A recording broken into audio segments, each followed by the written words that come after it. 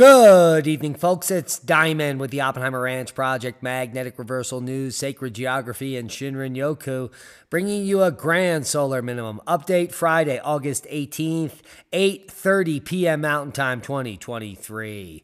Entire city forced to evacuate as Canada's wildfires get worse.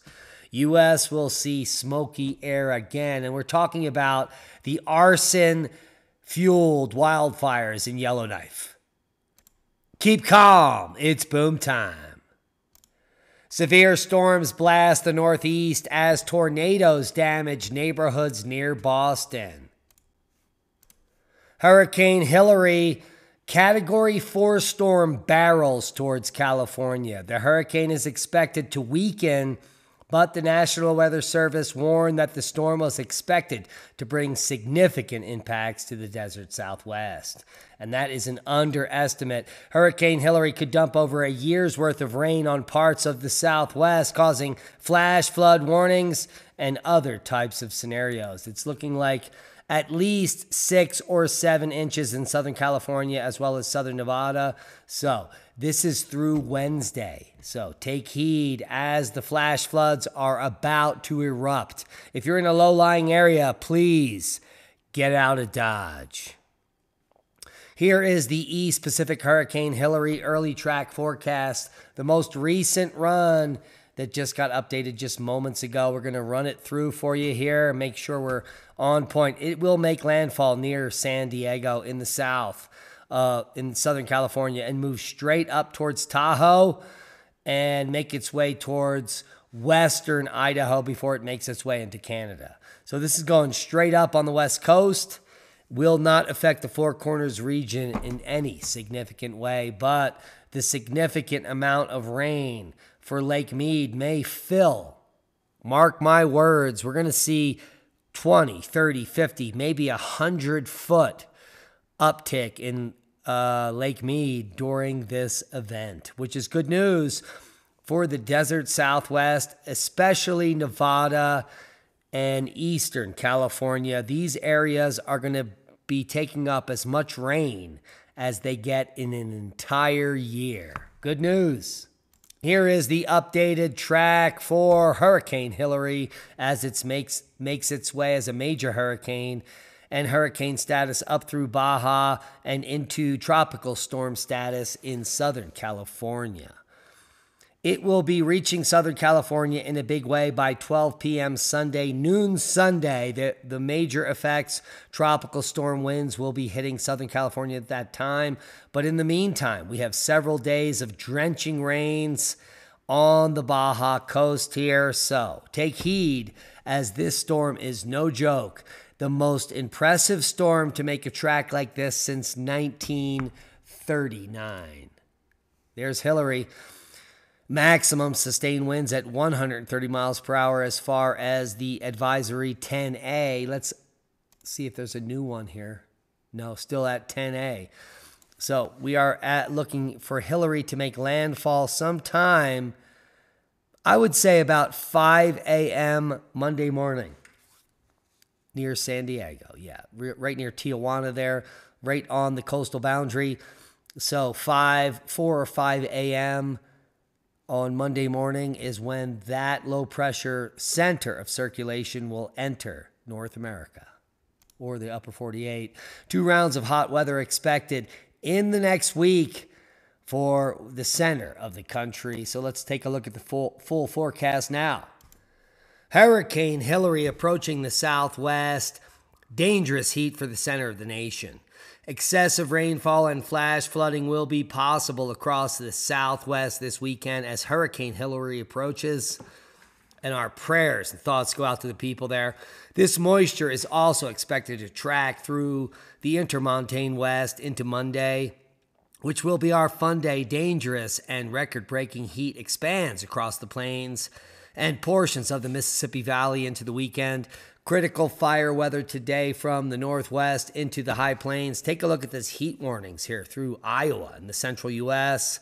This will dissipate in just the next 72 hours. It is a minor perturbation. Now, on with the wildfires in Canada. Entire city forced to evacuate as Canada's wildfires get worse.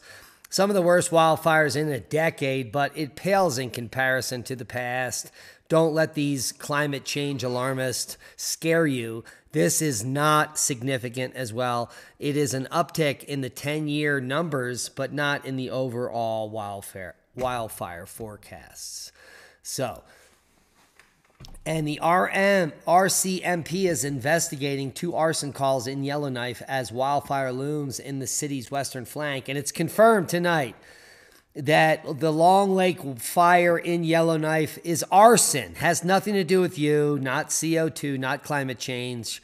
Just four youths charged, and they have been caught on video lighting this fire. So please don't believe the hype. It's a sequel and the mainstream media is full of propaganda. Here is the smoke forecast in the coming days. And they are saying that this smoke is going to be heavy and maybe pushing down and inundating perhaps the northeast here. So let's take a look at this map moves forward. Here we can see the progression through the weekend. It looks like the bulk of the smoke is going to the northeast and then a heavy bout, probably starting Monday morning, is going to push down through the northeast or the northwest and the central plains. So hopefully, we get some weather up here to squelch these fires. Polar blast hits Australia and a solar hush, avoiding the stupidity of fear infected crowds.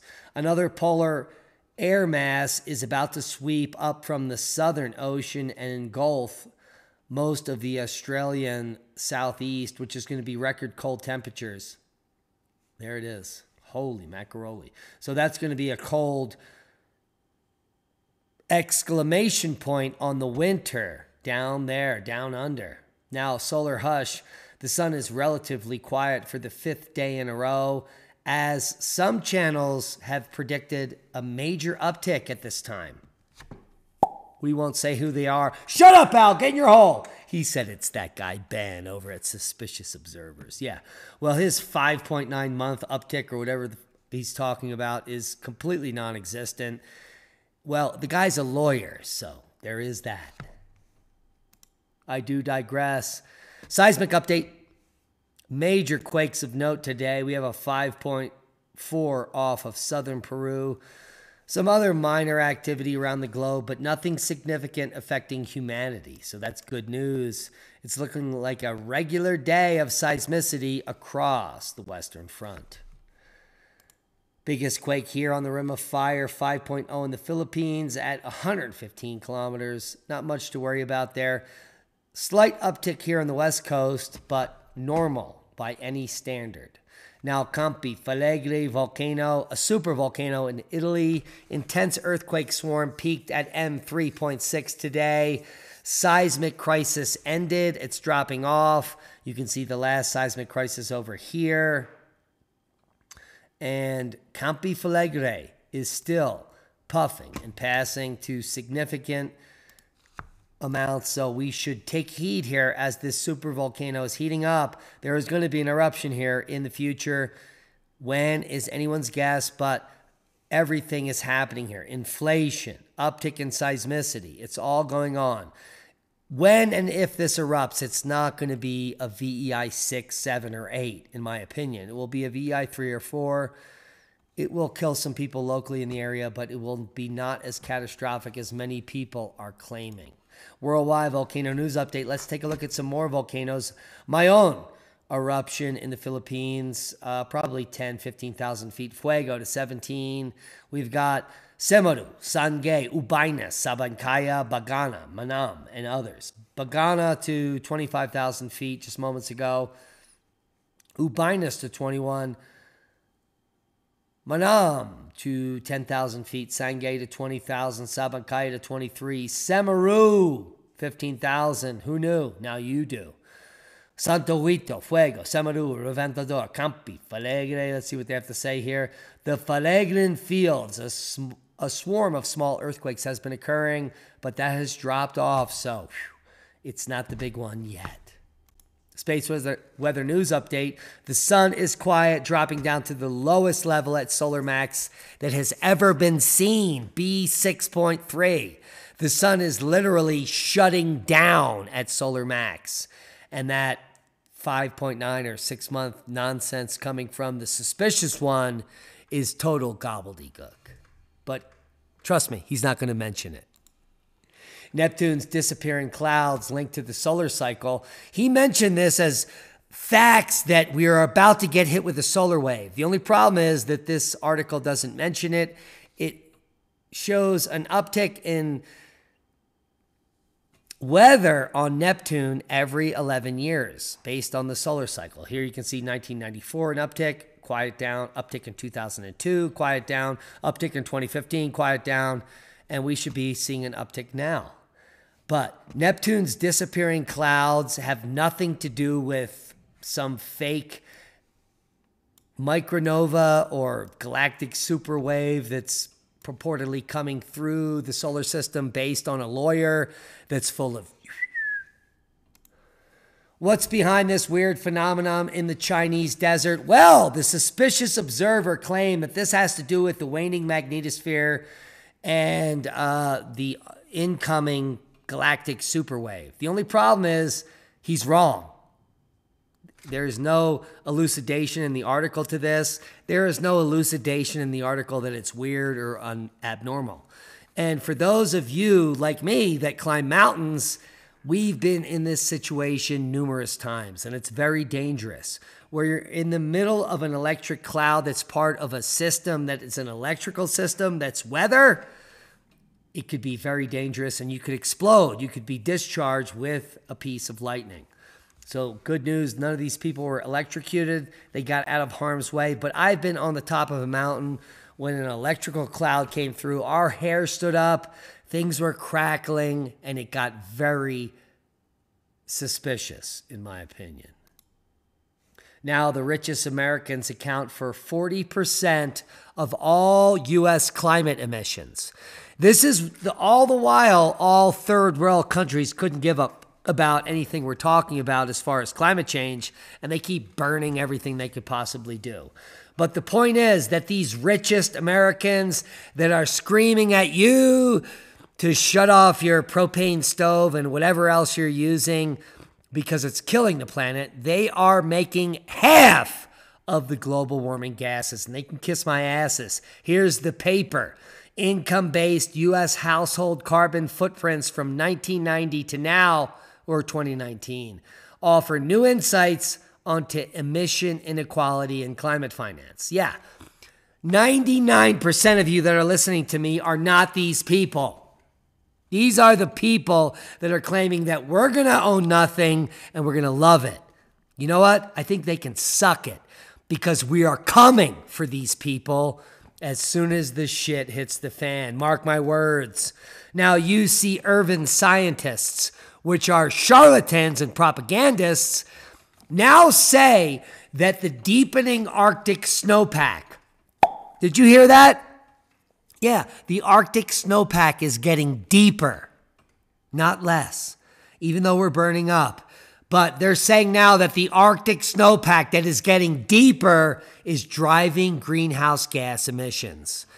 This is how stupid humanity is. People are going to read this and say, oh, yeah, there's more snow. It's so deep that the permafrost is melting. And guess what? Ben Davidson believes this garbage. Holy macaroni.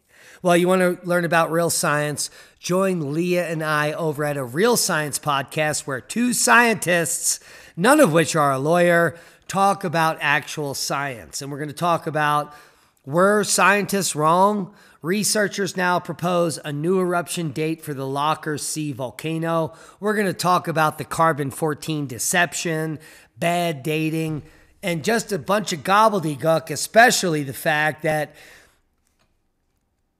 yeah. Ben Davidson over at Suspicious Observers is nothing more than a fearmonger trying to take money off a half a million people by scaring the shit out of them, which that doesn't need to happen. They could learn the facts. There is no galactic superwave coming to kill them. And most of what he says is based on fear porn and outdated science fiction and not science fact. But the fact is that an asteroid crater 520 kilometers perhaps in diameter, buried deep in the southeast Australian desert, is a new boom. In fact, the biggest crater ever found. We're going to be talking about that tomorrow over at revolution.radio, 12 noon Mountain Time.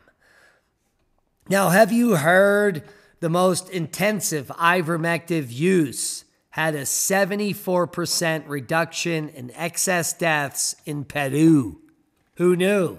Now you do, according to a new study.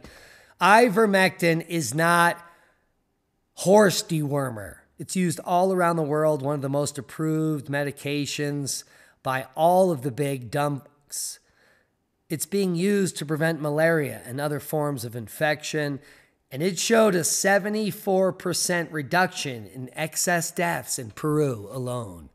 I wonder why they didn't let you have it here in the US. Because they want you dead. We want you alive and save the date. Please come to the Crestone Energy Fair September 16th and 17th, 2023 this year. There will be 1 trillion people all man, it's going to be big. I hope you have a campsite. Be there or be square. Lee and I will be speaking Saturday and Sunday. Bringing the soil back to life, how to build a Johnson Su bioreactor by me on Saturday and Sunday. Lee and I will be talking about reclaiming your sovereignty, how to become more self sufficient. Will you be there? I hope so. And that's a boom to knowledge. Crestone Energy Fair 2024 the 34th annual boom in the desert. Be there, be square. Please subscribe to the channel if you haven't. We are shadow banned, so we need you to share this video now for our safety. Become a Patreon, support the work we do. We love you. Be safe. And that is a boom.